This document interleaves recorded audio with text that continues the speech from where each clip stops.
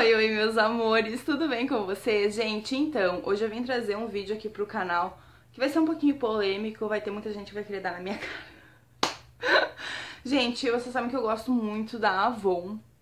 Tenho muitos perfumes da Avon, mas eu tenho cinco perfumes aqui que eu não compraria de novo, tá? Eu vou explicar pra vocês o porquê. São perfumes que muita gente gosta, muita gente ama, outras não tanto, assim como eu. E eu vou explicar pra vocês o porquê que eu não compraria eles de novo, tá? São perfumes bons, são perfumes bons, mas que pra mim não me agradou ou tem alguma coisa que deixa a desejar, tá? Vou começar falando de cada um deles pra vocês e o porquê que eu não comprei eles de novo. Por favor, não me xinguem, não me matem. São, essa é a minha percepção, né, meu olfato e meu gosto. Lógico que gosto, né, cada pessoa tem o seu, é muito pessoal, tá? Vou começar por este perfume aqui, que é um perfume que faz ó que tá aqui, ele vai ficando encostado, vai ficando encostado. Até vou desapegar dele, já tenho pra quem dá-lo. Sei de alguém que vai gostar, então vou dar pra essa pessoa. Que é o Life Color by Kenzo Takada, tá, gente? É um perfume floral, é gostoso, é gostoso, vai muito na vibe do Linda Radiance de O Boticário, que também não é um perfume que me chama muita atenção. É um perfume gostoso, é, mas eu tenho tantos florais aqui que eu amo de paixão, tão gostosos, e eles acabam ficando de escanteio. É um perfume, né, como disse, né, assinado pelo Kenzo Takada, a gente esperava um pouquinho mais dele. É um perfume de 50ml que custa 115 reais. Lógico que encontra por aí na promoção, então vale mais a pena. Mas, né, se diz um eau de parfum e ele tem uma fixação muito, muito fraquinha na minha pele, gente. O Linda Radiance, por exemplo, fixa demais na minha pele. É um perfume que tu compra de 100ml por cento e poucos reais. Então, né, tu não vai pagar 115 por um de 50 que não fixa, né? Eu comprei ele bem baratinho, eu comprei ele da minha tia que vende Avon. Na época ela tinha lá jogado lá para escanteio, ninguém comprava, eu acabei comprando ele o hidratante, que até já acabou, que também não era nada demais. É gostoso, é um floral aberto, né? Não sinto nada adocicado nele, mas eu não compraria ele de novo, tá, gente? Por esses motivos. É o tipo de perfume que acaba ficando de escanteio. Ele, Linda Radiance, mora um perfume que muita gente ama, conheço quem ama também. Então eu vou acabar dando esses perfumes para quem eu sei que vai usar, para quem gosta. Pra eles não ficarem ali, porque eles acabam, né? Eu tenho tantos florais que eu amo, eles ficam de escanteio na minha coleção. Então, ele já tá separadinho aqui junto com o Linda Radiance pra mim desapegar dele. Esse é o meu motivo, né, gente? Mas eu sei que tem muita gente que ama. Ele não é um perfume ruim, ele é um perfume bom. Mas pra mim já não, não bateu o santo aí, digamos assim.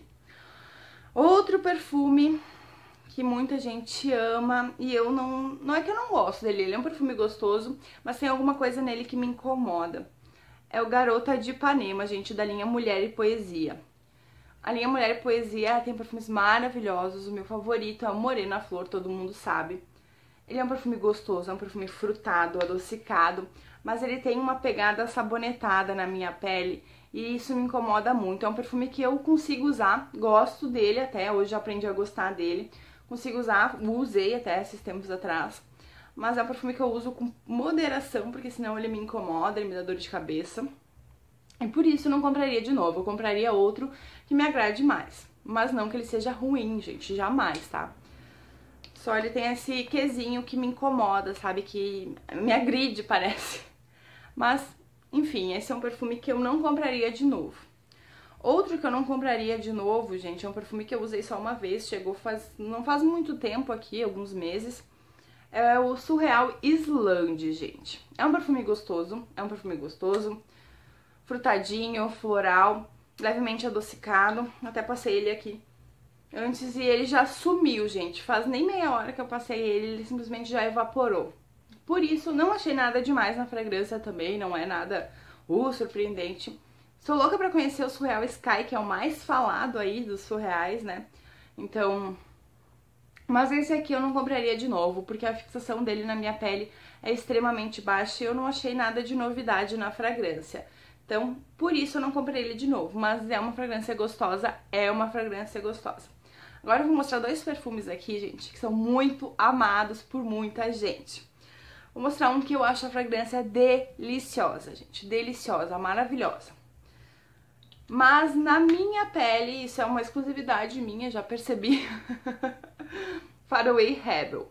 ele não fixa, não projeta, ele fica bem intimista. O cheiro de chocolate quase não aparece, né?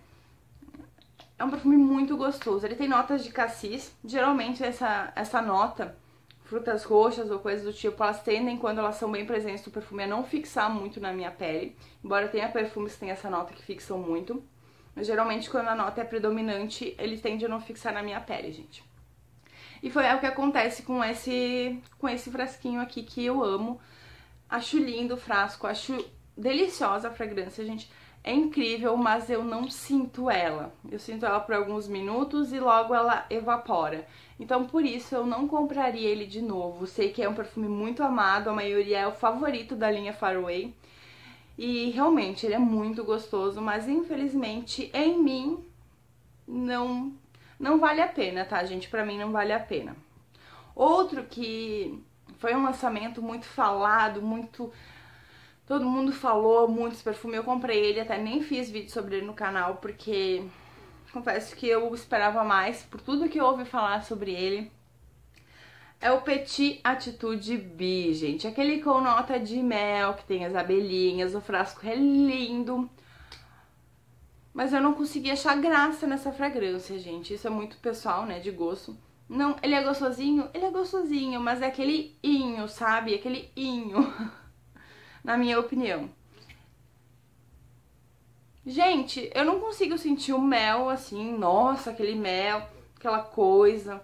Um perfume adocicadinho, um perfume inho, sabe? Aquele perfuminho, gracinho, inho, sem gracinha. Ai, gente, desculpa quem gosta. Mas na minha percepção ele é muito inho mesmo. Assim, ele não me chamou atenção, a nota de mel não foi o destaque dele. É um perfume adocicadinho, o frasco é lindo. Não vou desapegar dele porque eu consigo usar ele, acho ele gostosinho. Não é meu favorito, como eu falei pra vocês, mas eu não compraria ele de novo. Hum, por, esse, por esse detalhe, tá, gente?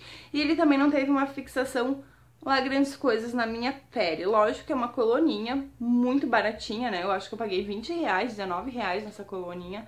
Ele tem 50 ml, se eu não me engano, né, gente? nem tem escrito aqui. Hum, acho que é 50 ml. É lindo, vai ficar aqui com certeza, principalmente recordação é bom, não é ruim, mas eu, pra mim, né, eu acho que a Avon tem perfumes maravilhosos, assim como todas as outras marcas, mas esse eu não compraria de novo por esse motivo. Então esses são os perfumes que da Avon que eu não compraria de novo. Eu trouxe só Avon porque é o que eu tenho mais de marcas aqui, né? Que eu não compraria, que é Avon, Natura e Boticário, essas coisas tem um ou dois que eu não compraria novamente. Só se vocês quiserem eu posso trazer uma junção de Eudora, Eudora, Natura e Boticário aqui dos que eu não compraria de novo. Me deixem aqui nos comentários que eu faço pra vocês. Mas da Avon são esses que eu tenho, que eu não compraria de novo, amores. E vocês, me digam aí se tem algum perfume da marca que vocês não comprariam, que vocês não conseguem gostar. Lógico que varia muito de gosto para gosto, assim como eu amo Morena Flor, é um perfume muito odiado por muita gente, né? Então, me contem aí quais vocês não comprariam de novo. E se vocês gostam deles, também me deixem aí nos comentários, tá bom, gente? É isso, amores. Se vocês gostaram, já deixa um joinha no vídeo pra mim. Tá chegando agora, caiu de paraquedas aqui no canal. Gostou, se identificou com o conteúdo, já se inscreve no canal e ativa o sininho de notificações. Vai lá, ativa o sininho, coloca lá em todas pro YouTube entender, né? Te entregar todas as notificações, porque senão ele vai te entregar só o que ele entender que tu quer ver. E nem sempre ele entende certo, né? Então, é isso, meus amores. Um Beijão pra vocês, gente. Fiquem com Deus. Até o próximo. Tchau, tchau.